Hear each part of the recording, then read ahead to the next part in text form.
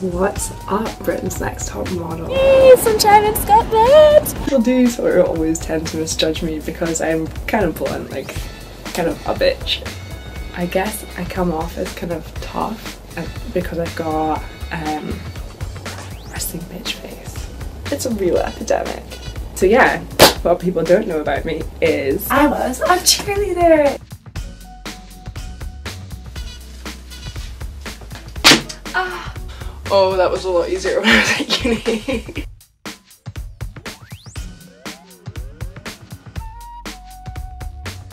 That's me. That's it. That's my face. We're done.